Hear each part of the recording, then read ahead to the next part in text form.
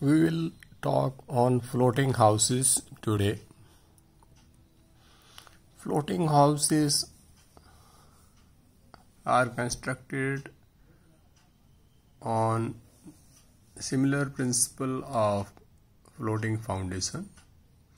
Floating term in the foundation engineering is used when the soil beneath the footing does not experience any extra load as the load of the structure is equal or less than the soil displaced.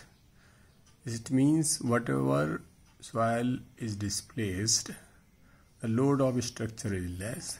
Hence, the soil which was experienced the load of soil which has been excavated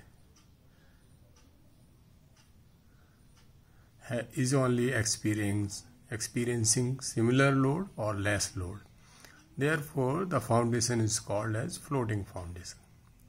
Floating houses are similar in concept and normally defined those houses which are constructed on water in a way that the load of the structure is equal or less than uplift of the water which helps in floating the house on water.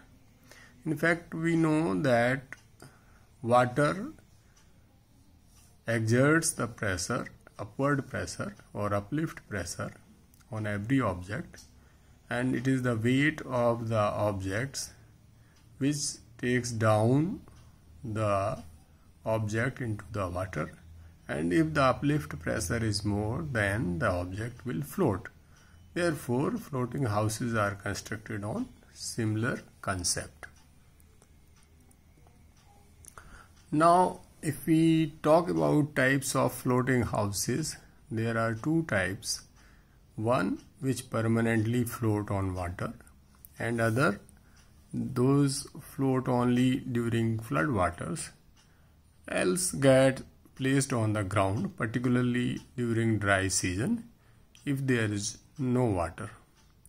In fact, we are not talking about the houseboats where the boards are used for construction of houses and they are taken here and there and they are not on one place.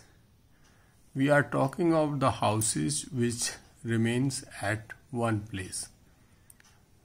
Principle of floating houses can be described as Floating houses do not require foundation and are based on the principle of buoyancy as we have already discussed. Thus they are also called buoyant homes.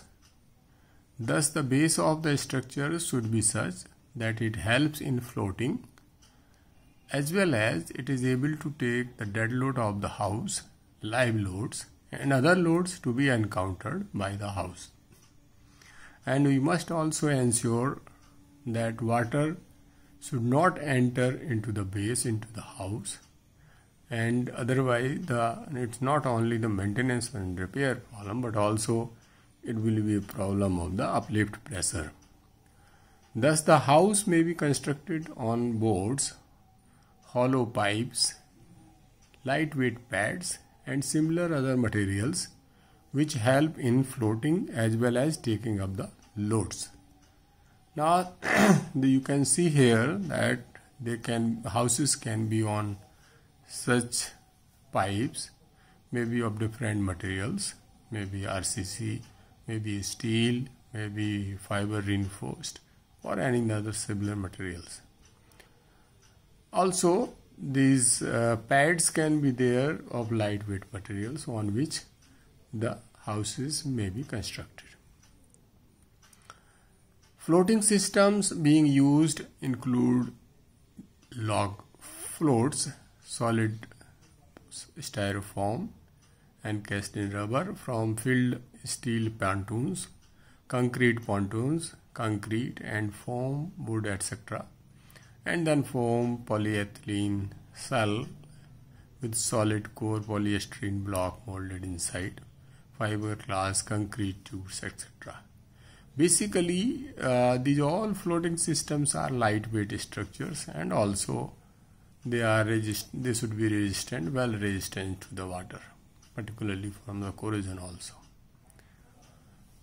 Principle of vertically moving floating houses is also there. It means these houses will go up and come down as per the water level in the sea and thus they are to be constructed in a way that they just go up and come down and then there is a metallic frame that holds the flotation blocks and then this frame is attached to the underside of the house.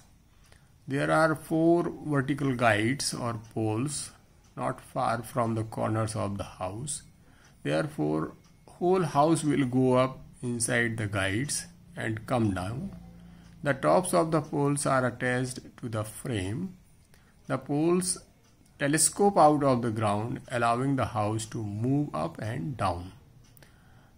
These houses can also be constructed through anchoring system. Therefore anchoring system will be there maybe on all sides and then these houses will go up and down and will remain at a place.